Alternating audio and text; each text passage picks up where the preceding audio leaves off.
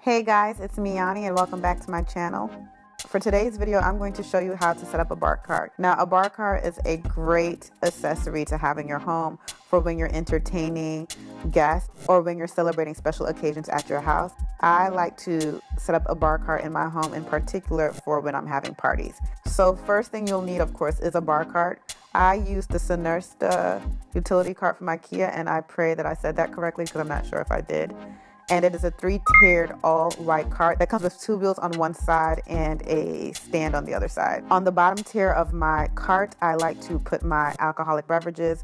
So I like to go from wines to hard liquor like rum and vodka to that bubbly, aka champagne. Now for the middle tier or second shelf of my utility cart slash bar cart, I like to put non-alcoholic beverages like sparkling water or seltzer water and just regular my water. favorite sparkling water is S Pellegrino and my favorite water to use when I'm decorating my bar cart is Voss in the plastic bottles because it is much cheaper I think, than the glass bottles, but it also looks really nice.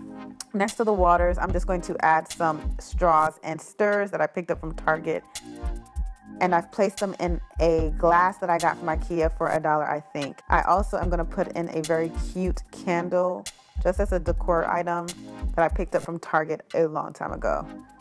Next to that, I'm gonna put some drinking accessories like glasses, champagne glasses in particular, and some clear plastic cups. Once I'm done setting up the bottom and middle shelf, it's now time to work on the top shelf. And something that you absolutely need for your bar cart is an ice bucket. Now the ice bucket that I used in this video is a glass ice bucket, but I also have one that is stainless steel or it looks stainless steel. But I do, however, prefer using the one that's glass. Another addition to the top shelf are these toothpicks that I keep in a shot glass, which I use to take out these cherries. Now you can also have olives for your bar cart, but I absolutely loathe olives, so I just keep the cherries on my bar cart. I also have two copper mugs if people want to make Moscow mules.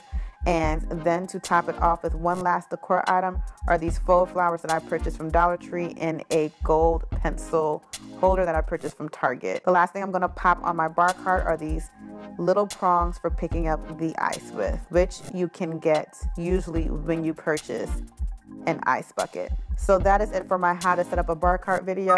If you guys have any thoughts you'd want to share with me, please make sure you leave them down in the comment section below.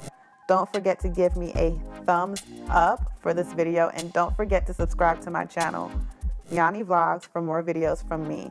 I love you guys and thank you so much for watching. Until next time, bye.